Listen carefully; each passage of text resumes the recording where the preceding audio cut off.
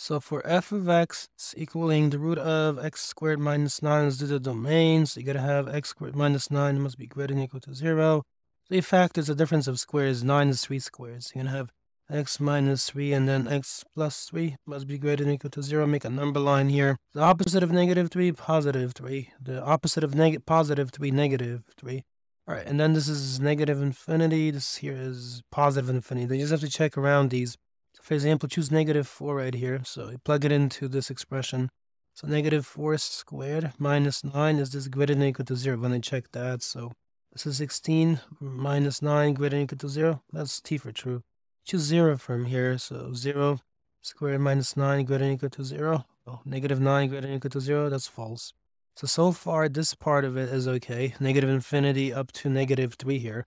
I'm just trying to shade that. Okay. And then you choose 4, for example. So 4 squared uh, minus 9 is greater than equal to 0. So this is 16 minus 9 is greater than equal to 0. That's certainly true.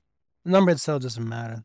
So it means everything from positive 3 to positive infinity also works. So now let's make this uh, an interval notation. So you begin at negative infinity. So negative infinity, comma, go over to negative 3 but it's included, so it's a bracket. Then skip over, resume at positive 3, so U for union, bracket positive 3, comma, positive infinity, and then terminate with the matching parentheses. Leave a like if it's helpful.